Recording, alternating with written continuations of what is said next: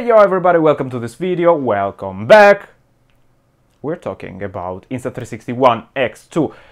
It's arrived the moment, the right moment, more or less, not, not really that much, but it's arrived the moment to talk about this camera, because I want to share you my experience with it. It will not be a review, a properly a review of this camera. It will not be the technical review of this camera as I used to do before with the, all the other cameras because I think that there are too much people doing the reviews of these cameras and that's enough. I want to do another technical review of this camera where I talk you about the resolution and stuff like this. I want to share you an experience. Maybe I'm gonna write uh, a couple of links in the description to show you the reviews of the other creators. I'm new in the Insta360 world and uh, this is my first Insta360 camera and I did everything step by step without knowing anything about it because I didn't watch a single video about this camera or about the other Insta360 cameras so I didn't know anything about this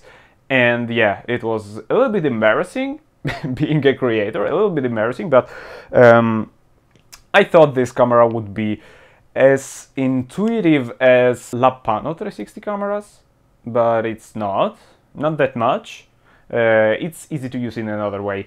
Okay, let's let, let's begin. Let's begin like from the basics.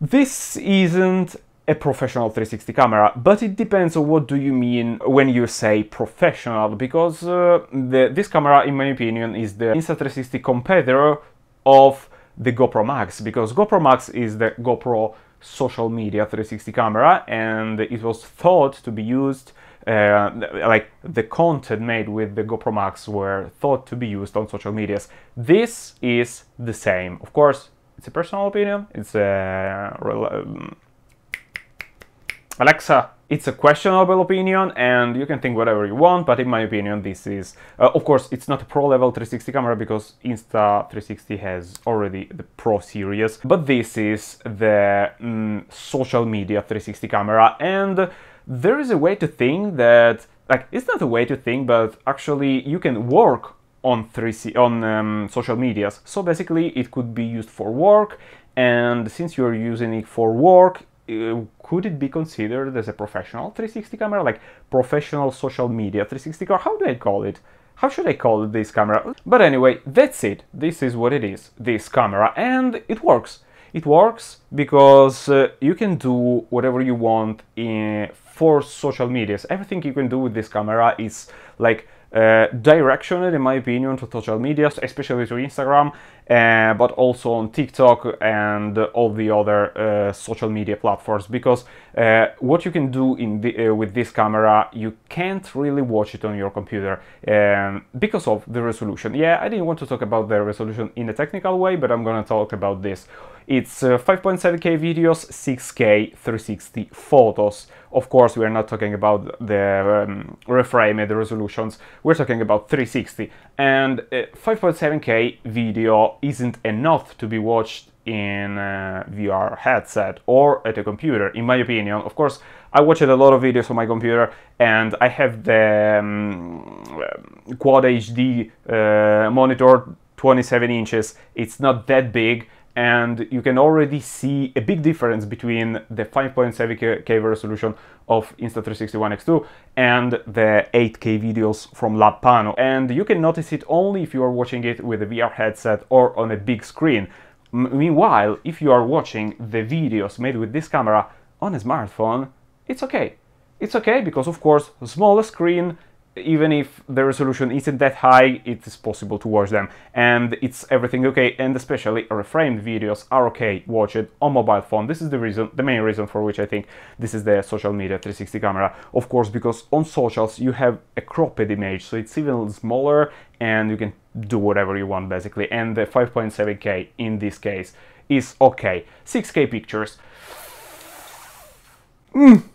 It could have been more, but uh, I mean, I'd uh, I'd like to, it to be 8K 360 photos. I mean, 5.7K videos, but 8K 360 photos because in 2020, making a 360 camera which doesn't shoot in 8K at least for photos, I don't know, maybe it's not that enough, but actually thinking, continuing to think about that this camera was meant to be used for social medias 6K pictures are okay, are okay because as uh, 5.7K videos, reframed videos are good. Of course, 6K pictures are good as well, and they are really good. I like this camera for a lot of things.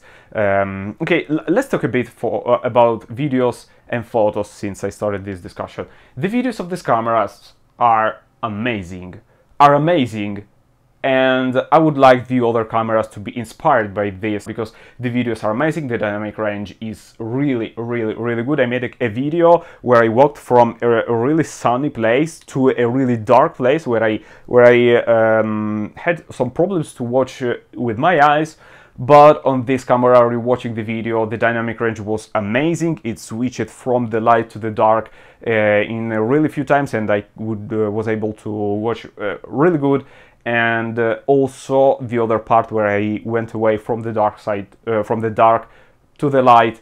Uh, it was really great. It's uh, it's really amazing the um, dynamic range of this camera in the videos. The other thing, of course, the stabilization. The stabilization of this camera is is mind blowing. Like, uh, of course, I did my usual tests where I uh, jumped here and there, run on the stairs, and this is probably the most stable camera I've ever had.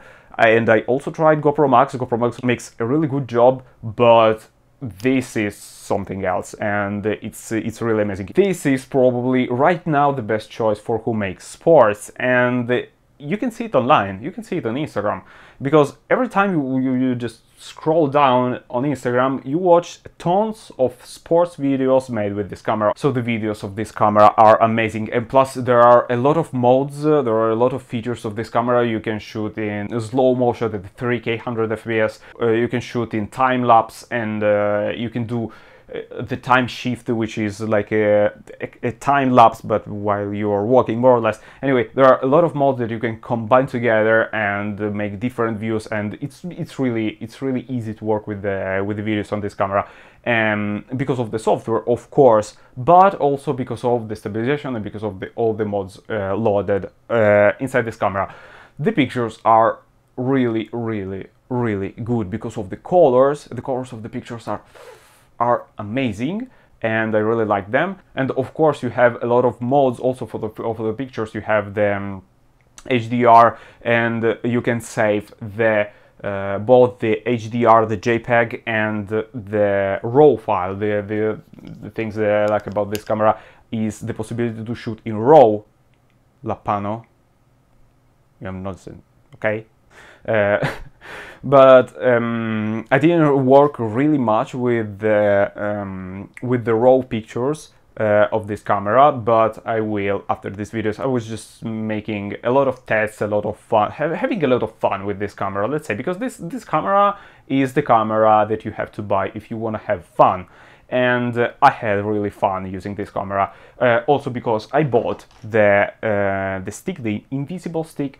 I'm gonna talk about this later too, and uh, mm, it's uh, it's really interesting, and uh, you get inspired by this camera because it's small, it's portable, and you can do you you you feel like I felt that I can do whatever I want with this camera. I can put it wherever I want, and I can just run and jump, and I, I'm not afraid to scratch it because it's uh, it's rugged and uh, it, it, seems it seems to be a rugged 360 camera so you are not really afraid to damage it or uh, to do whatever you want. And one of the best features, of course, as the other 360 cameras already done, is the screen.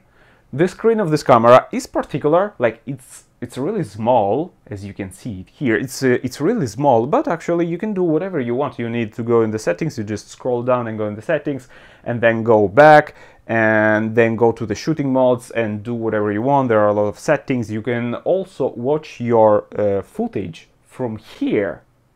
Like, okay, there's an only problem with the screen of this camera is that it's not being small, but it's being locked when you are connected with the app of your phone. Because if you control the phone with your, if you connect your phone to your 360 camera, to your Insta360 One X2, you can't uh, do anything on your screen. And sometimes it's a problem. Sometimes it's a problem because maybe i want to i want to start a video with my phone because i was checking the iso because of course you can do whatever you want also with the parameters like iso um, shutter speed uh, white balance uh, exposure I, I, I, already mentioned that ISO. Anyway, you can do, you of course you have manual control also uh, on the video and also on the pictures. But uh, for example, I, I made some edits on my phone, started the video with the, with the phone, but then I walk and uh, I want to stop the video. I can't stop it from the button because it's not only the screen but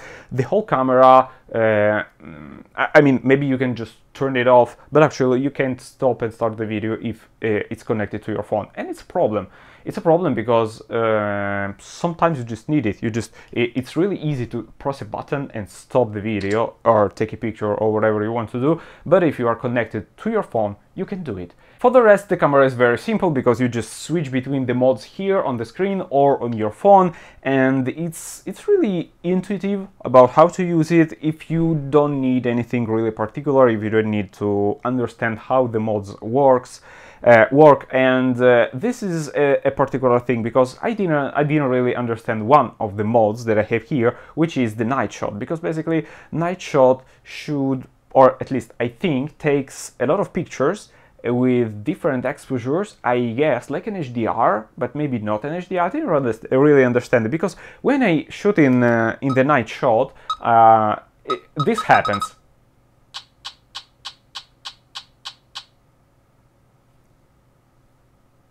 And then, and then, because when I put it in my computer, I just have like separate pictures and when I watch it on my phone, I, I didn't really understand how it works. I'm gonna watch it later. Maybe I really have to watch some tutorials. But this is something that everyone has to experience and have to discover by itself or just go and watch tutorials online.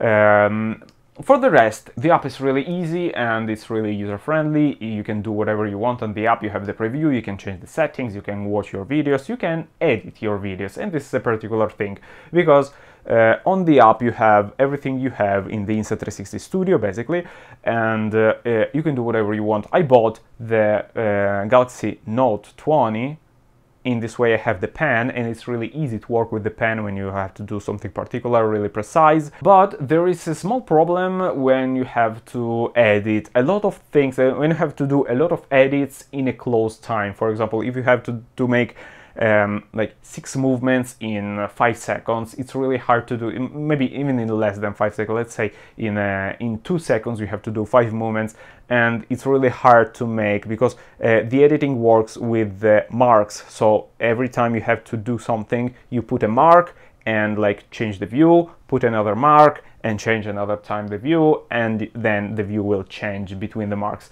So basically when you have a lot of marks close it's really hard to work with them, it's really hard to select them because you can't zoom uh, like at the frame per frame. You can't zoom that much. Uh, as well or as well as on the insta360 studio on your computer it's not possible to zoom like frame by frame. You can't have a, a timeline of three seconds on your computer on a 27 uh, inches uh, because you always have like 15 seconds and sometimes it's not it's not enough. I i would need to zoom uh, just a little bit to be able to edit the, um, the marks and stuff like this. So insta360 please. Uh, make me zoom my timeline a little bit more for the rest it's really intuitive you can just um, do whatever you want. You can speed up, you can speed down, you can add effects. It is possible to track someone. It's really it's really easy to use both on the app and uh, on the computer. Uh, and it is possible to reframe your video or export you, uh, as a 360 video. It is possible to make the color plus or not. Uh, I mean, uh, there are a really really a lot of uh, possibilities of editing of your footage. It's not that intuitive, let's say. Let's let's say that maybe I skipped the tutorial at the beginning, probably, but uh, I I was thinking about something like the editing section somewhere on a single part of the screen and then all the rest on there. But there are like the the editing sections are someone uh, something is on the top something is on the bottom something is the right. So mm, it's it's not really uh, like um, how how could i say? It's not really um, clean. I'd say it's not really clean. Insta360 studio isn't clean. It's not clean because you have to find the things if you don't watch tutorials. but for the rest, uh, is it's okay. It's good. It's fast. It's uh, user-friendly once you understand how to do it. It's really user-friendly. It's really fast to work with Insta360 Studio. Of course, you can work with your footage also on Premiere. I'm talking about Insta360 Studio because it's free and uh, a lot of people would not buy like Premiere just to post videos on the on Instagram. Uh, the other thing that I just remembered about the, about the app, because I mentioned the app, is that there is the Insta360 community, and this is the reason, the main reason for which I thought this camera would be um, a social media 360 camera, because there is also the Insta360 community on the app where you can upload your footage, and it's a kind of social because you have followers, you have likes, you have comments, and it's the Insta360 social media on the app where you can upload this footage. So um, I thought about this. So this is the the professional social media camera, social media, I don't know how to call it. So this was my experience, my first experience with the Insta360 brand. Uh, this is my first camera, I really like it and I hope uh, they will fix my problem because I want to use it more and since now the days are a bit longer and a bit better because the past month it rained every single day I was free so I would like to go out more and to understand more this camera. Uh, thank you for watching this video. Tell me in the comments if uh, you like this kind of format. Like, I don't wanna, I'm not making the full review, the full technical review of this camera, but I'm making uh, the, the experience review of this camera uh, and of the brand. Of course, in the next video, I'm gonna, I'm gonna talk uh, about something else also regarding this camera maybe. Uh, so tell me in the comments if you prefer this kind of videos and of course tell me if you need something else, if you want to know something else, if you want something uh, about this camera that you can find somewhere else because I don't want to make the copy of another video uh, made by someone else. So thank you for watching this video. This was my experience with the Insta360 One X2, links in the description and uh, nothing. I'll keep you updated. Thank you, thank you for watching. See you.